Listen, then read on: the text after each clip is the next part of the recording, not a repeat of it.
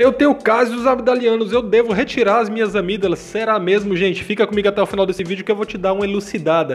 Antes de mais nada, eu te peço para deixar o joinha, o like aqui no vídeo, também se inscrever no canal, gente, porque essas ações me ajudam e muito a crescer o canal. E vamos pro vídeo. Gente, essas bolinhas fedorentas, os casos abdalianos, nada mais são do que restos alimentares restos teciduais, que é a descamação ali da bochecha, garganta ali, geralmente fica na garganta, né, gente?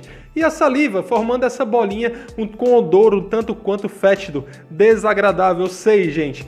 Muita gente se desespera, diz que nada funciona, então, quer porque quer tirar as amígdalas. Devo mesmo tirar as amígdalas, remover as minhas amígdalas? Calma, gente. Aqui no canal já tem muitas, já existem muitas dicas para casos amidalianos. Se você não tiver sucesso em nenhuma dessas dicas, pondere aí depois tirar as amígdalas. Veja com o médico se realmente é necessário. Mas eu não indico não, gente. A resposta é tire em último caso. Primeiro tenta esses gargarejos, vai ficar passando aqui nos cards dos vídeos. Quando acabar, então clica aí, Dr. André Caran, procura aqui no canal Casos Amidalianos, Bolinhas Fedorentas, que tem um vasto material. Então por que, que você não deve tirar as amígdalas somente em último caso? Gente, as amígdalas são glândulas e as glândulas elas funcionam produzindo anticorpos que vão combater as nossas infecções virais, bacterianas, entendeu?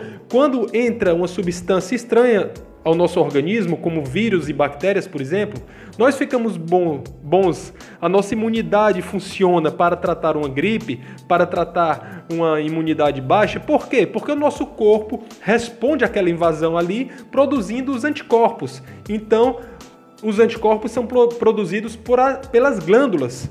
E uma das glândulas que nós temos, dentre outras no nosso organismo, são as amígdalas. Se você retirar as amígdalas, você vai deixar de estar produzindo tantos soldadinhos de defesa aí que se chamam anticorpos e você pode sofrer com mais gripes, resfriados, ter imunidade em baixa. Estudos mostram que mesmo retirando as amígdalas, o corpo tem a capacidade aí de produzir anticorpos através das outras glândulas e debelar infecções. Entretanto, as minhas amígdalas eu não abro mão não.